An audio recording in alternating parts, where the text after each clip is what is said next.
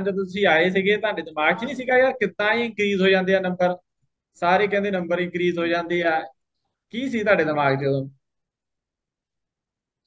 ਤੇ ਇਹੀ ਕਿ ਸਰ ਕਿਵੇਂ ਹੋ ਜਾਂਦੇ, ਪਰ ਹੁਣ ਪਤਾ ਲੱਗ ਗਿਆ ਮਤਲਬ ਕੀ ਸਹੀ ਪੈਟਰਨ ਕੀ ਆ ਕਿਵੇਂ ਆਪਾਂ ਐਗਜ਼ਾਮ ਨੂੰ ਕਿਵੇਂ ਹੈਂਡਲ ਕਰਨਾ ਜੇ ਸਾਡੇ ਨੰਬਰ ਨੈਗੇਟਿਵ ਮਾਰਕਿੰਗ ਦੇ ਬਾਵਜੂਦ ਵੀ ਅਸੀਂ gain okay okay okay so ਜੋ 네ਗੇਟਿਵ ਮਾਰਕਿੰਗ ਦੀ ਐਡਵਾਂਟੇਜ ਲੈਣਾ ਜਿਹਦਾ ਮੈਂ ਤੁਹਾਨੂੰ ਵਾਅਦਾ ਕੀਤਾ ਸੀਗਾ ਕਿ ਸਿਖਾਵਾਂਗਾ। ਸੋ ਸਿੱਖ ਗਏ ਹੁਣ 네ਗੇਟਿਵ ਮਾਰਕਿੰਗ ਦੀ ਐਡਵਾਂਟੇਜ ਕਿੱਦਾਂ ਲੈਣੀ? ਹਾਂਜੀ ਹਾਂਜੀ ਗ੍ਰੇਟ ਐਂਡ ਤੁਸੀਂ ਕਿਹੜੇ ਐਗਜ਼ਾਮ ਦੀ ਤਿਆਰੀ ਕਰ ਰਹੇ ਹੋ? ਐਕਸਰਸਾਈਜ਼ ਸਰ ਐਕਸਾਈਜ਼ ਇੰਸਪੈਕਟਰ ਦੇ ਐਗਜ਼ਾਮ ਦੀ ਤਿਆਰੀ ਕਰ ਰਹੇ ਹਾਂ ਔਰ ਕੀ ਉਮੀਦ ਲੈ ਕੇ ਆਏ ਸੀਗੇ ਮੇਰੇ ਕੋਲ ਤਰਲੋਚਨ? ਸਰ ਆਹੀ ਕੀ ਨੰਬਰ ਗੇਨ ਹੋਣਗੇ ਸਰ? ਨੰਬਰ ਗੇਨ ਹੋਣ ਦੇ।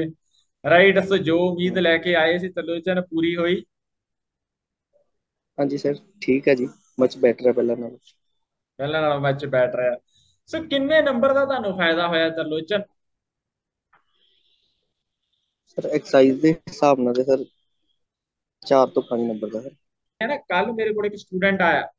ਠੀਕ ਆ? ਰਾਈਟ ਕਹਿੰਦਾ ਸਰ ਅੱਧੇ ਨੰਬਰ ਦਾ ਫ਼ਰਕ ਸੀਗਾ ਮੇਰਾ ਤੇ ਮੇਰੇ ਦੋਸਤ ਦਾ।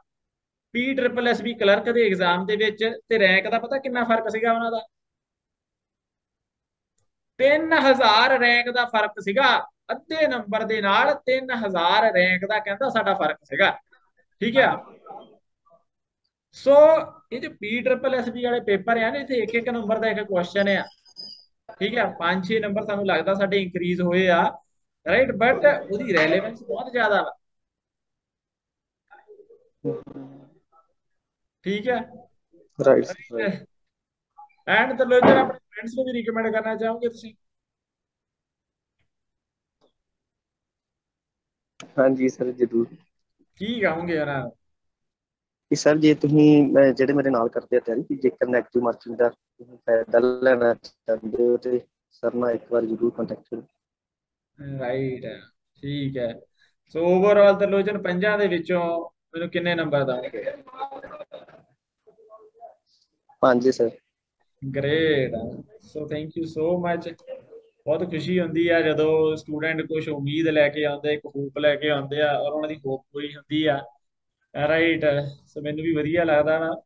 ਸੋ ਦਰਲੋਚਨ ਇੱਕ ਸਵਾਲ ਮੈਂ ਤੁਹਾਨੂੰ ਪੁੱਛਣਾ ਕੀ ਮੈਂ ਤੁਹਾਡਾ ਇਹ ਵੀਡੀਓ ਜਿਹੜਾ ਹੈਗਾ YouTube ਤੇ ਪਾ ਸਕਦਾ ਵਾ? ਪਾ ਦੇ ਹੈਂ? ਸਰ ਪਾ ਦੇ ਕੋਈ ਗੱਲ ਨਹੀਂ ਪਾ ਪਾ ਦੇ ਦੇਵਾਂ ਸਰ ਆਲ ਰਾਈਟ ਹਾਂਜੀ, ਥੈਂਕ ਯੂ ਪਾ ਸੋ ਦਿਓ। Much thank you thank you really thank you right ਔਰ ਇੱਕ ਦਰਲੋਚਨ ਮੈਂ ਤੁਹਾਨੂੰ ਇਹ ਵੀ ਗੱਲ ਕਰਨੀ ਸੀ ਦੇਖੋ ਤੁਸੀਂ ਸਿਵਲ ਸਟਾਫ ਦੇ ਵਿੱਚ ਕੰਮ ਕਰਦੇ ਹੈ ਨਾ ਟੀਐਸਐਸ ਕੈਡਰ ਪੰਜਾਬ ਪੁਲਿਸ ਦੇ ਵਿੱਚ। ਰਾਈਟ ਔਰ ਬਹੁਤ ਸਾਰੇ ਸਟੂਡੈਂਟ ਜਿਹੜੇ ਆ, ਉਹਨਾਂ ਦੀ ਕੁਐਰੀ ਰਹਿੰਦੀ ਆ ਇਸ ਜੌਬ ਪ੍ਰੋਫਾਈਲ ਦੇ ਰਿਲੇਟਿੰਗ ਟੀਐਸਐਸ ਦੀ ਕਿੱਦਾਂ ਦੀ ਜੌਬ ਰਹਿੰਦੀ ਆ, ਠੀਕ ਹੈ ਬਾਕੀਆਂ ਦੇ ਨਾਲੋਂ, ਸਿਵਲ ਮਹਿਕਮੇ ਦੇ ਨਾਲੋਂ ਕਿੱਦਾਂ ਲੱਗ ਰਹਿੰਦਾ ਵਾ, ਕੀ ਰੋਲ ਰਿਸਪੌਂਸਿਬਿਲਟੀ ਰਹਿੰਦੀਆਂ ਵਾ ਜਾਂ ਜਿਹੜੀ ਹਾਰਡ ਕੋਰ ਜਿਹੜਾ ਕਹ ਲੋ ਕਿ ਡਿਸਟ੍ਰਿਕਟ ਪੁਲਿਸ ਆ, ਉਹਦੇ ਨਾਲ ਕੀ ਕੀ ਇਹਦੀ ਜੌਬ ਪ੍ਰੋਫਾਈਲ ਦੇ ਵਿੱਚ ਡਿਫਰੈਂਸ ਹੁੰਦਾ ਵਾ, ਠੀਕ ਆ? ਸੋ ਉਹਦੇ ਬਾਰੇ ਮੈਂ ਤੁਹਾਡੇ ਨਾਲ ਇੱਕ ਸੈਸ਼ਨ ਰੱਖਣਾ ਚਾਹੁੰਦਾ ਵਾਂ, ਜਿਹਦੇ ਵਿੱਚ ਆਪਾਂ ਥੋੜਾ ਗੱਲ ਕਰੀਏ ਤਾਂ ਕਿ ਸਟੂਡੈਂਟ ਨੂੰ ਕਲੈਰਿਟੀ ਮਿਲੇ। ਠੀਕ ਹੈ ਜਿਹੜੇ ਐਸਪੀਰੈਂਟ ਆ ਅੱਗੇ ਸੋ ਉਹ ਆਪਾਂ ਕਦੋਂ ਰੱਖ ਸਕਦੇ ਹਾਂ ਸੈਸ਼ਨ ਹੈ ਅੱਜ ਤੁਹਾਡੇ ਕੋਲ ਸਰ ਟਾਈਮ ਸਰ 15-20 ਅੱਜ ਤੇ ਨਹੀਂ ਹੁਣ ਸਰ। ਹੈ? ਹਾਂਜੀ ਹਾਂਜੀ ਸਰ ਟਾਈਮ ਤਾਂ ਇੰਨੇ 15 20 ਮਿੰਟ ਹੀ ਚਾਹੀਦੇ। ਕੋਈ ਗੱਲ ਨਹੀਂ ਸਰ ਆਪਾਂ 2-4 ਦਿਨ ਦੇ ਵਿੱਚ ਰੱਖ ਲੈਂਦੇ ਟਾਈਮ ਕੱਢ ਕੇ ਨਾ। ਓਕੇ ਓਕੇ ਓਕੇ ਹਾਂਜੀ। ਸੋ ਯੂ ਆਰ ਓਪਨ ਕੋਈ ਇਸ਼ੂ ਤਾਂ ਨਹੀਂ ਹੈਗਾ? ਸਰ ਐਕਚੁਅਲੀ ਕੋਈ ਗੱਲ ਨਹੀਂ ਸਰ ਮੈਂ ਤੁਹਾਨੂੰ ਦੱਸਦਾ ਸਰ ਫੋਨ ਤੇ ਕਰਾਂਗੇ ਗੱਲ ਇਸ ਬਾਰੇ। ਅੱਛਾ ਅੱਛਾ ਕੋਈ ਨਹੀਂ ਆਪਾਂ ਕਰ ਲਾਂਗੇ ਸਰ ਕੋਈ ਜਾਂ ਖਾਸ ਇਸ਼ੂ ਨਹੀਂ ਹੈ ਕੋਈ ਗੱਲ ਨਹੀਂ। ਲੇਕਿਨ ਮੈਨੂੰ ਦੋ ਦੋ ਚਾਰ ਦਿਨ ਦਿਓ ਆਲ ਰਾਈਟ ਆਲ ਰਾਈਟ ਜ਼ਰੂਰ ਜ਼ਰੂਰ ਕੋਈ ਗੱਲ ਨਹੀਂ। ਆਪ